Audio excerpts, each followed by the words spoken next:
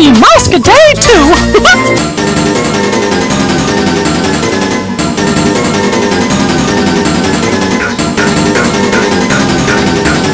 You have a happy Mousecade too!